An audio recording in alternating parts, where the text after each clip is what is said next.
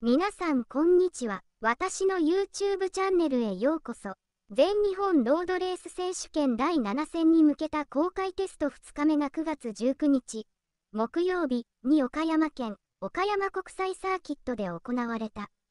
この日は各クラス50分の走行が2回あるスケジュール。初日に続き厳しい暑さに見舞われ、路面のグリップレベルは低い中での走行となった。写真 JSB 戦水野亮ドゥカティチーム加賀山2024全日本ロード岡山公開テスト2日目 JSB 戦クラスは気温の低かった1本目にベストタイムを出したライダーが多かった。その中でトップタイムをマークしたのは岡本祐希ヤマハファクトリーレーシングチームだった。タイムは1分30秒382で初日のタイムを更新している。岡本は、コンディションは初日と変わらずグリップは良くない状態でした。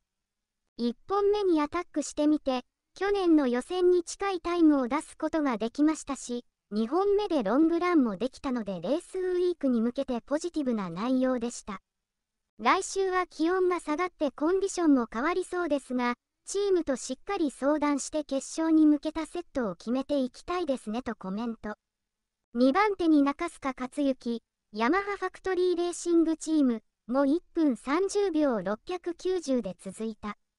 勇気がすごく乗れていて速い。自分もロングランまで行かなかったけれどタイヤのライフを見ることはできたし、レースに向けてちょっとずつ底上げはできました。勇気が調子がいいのでお互い刺激し合って、いい勝負、いいレースができればいいですし、そのためにしっかり準備してレースウィークに入っていきたいですねと中すか。3番手に野実コータ、アステモホンダドリーム SI レーシングが1分31秒187、4番手に伊藤和樹、ホンダドリーム RT 桜井ホンダ。が1分31秒789、5番手に高橋匠、ジャパンポストホンダドリーム TP が1分31秒862と続いている。6番手に、この日初めてドゥカティを岡山で走らせた水野亮、ドゥカティチーム加賀山が1分32秒064で続いた。1本目は予想よりうまく走らせることができなかったので、2本目は大幅に車体を変えたら良くなったのですが、やっと始まったというところでセッションが終わってしまいました。明日は走行時間が長いので、しっかり進めていきたいですね。自分は今日から走り始めているので、みんなの初日のタイムと比較すると、オートポリスに比べれば前進できていると思います。ただ、今日の1本目はちょっともったいなかったですねと水野。ST 戦クラスは、国井祐希 SDG チームハルクプロが1分33秒511で連日のトップタイム。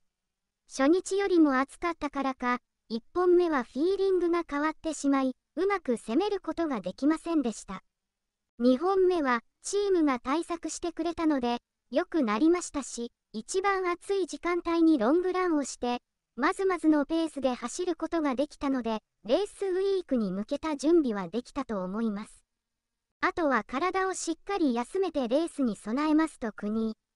2番手は1分33秒605の豊島レードッグファイトレーシング JDS 3番手に1本目でトップタイムをマークした荒川光大。MOTOBUM ホンダが1分33秒689、4番手に伊藤元春 MOTOBUM ホンダが1分33秒745、5番手に羽田大河アステモホンダドリーム SI レーシングが1分33秒914、6番手に国峰拓磨東方レーシングが1分33秒915、7番手に井出翔太明けのスピード RCKOSHIEN が1分33秒983で続いた。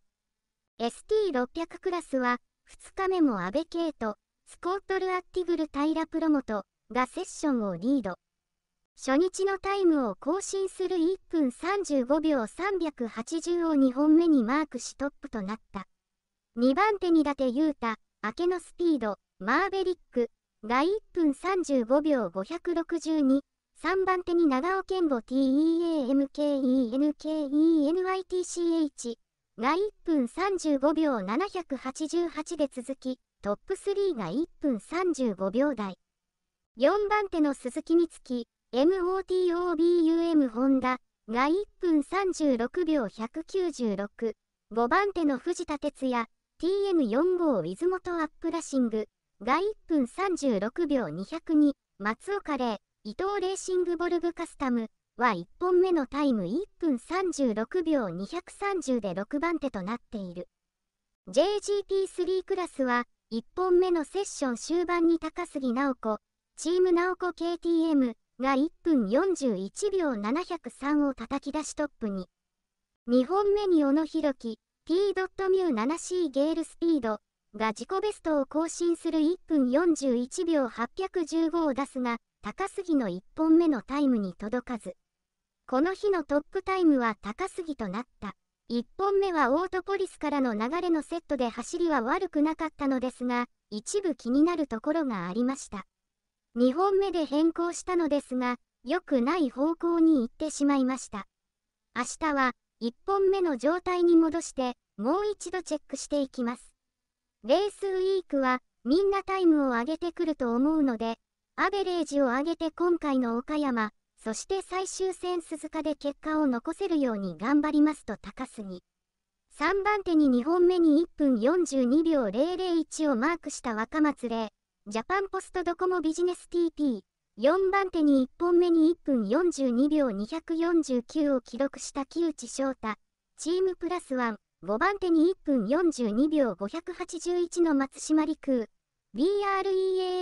BREASTOB トライブレーシング、6番手に1分42秒598の岡崎静香、ジャパンポストホンダドリーム TT と続いた。どう思いますか？気に入っていただけると嬉しいです。また次回お会いしましょう。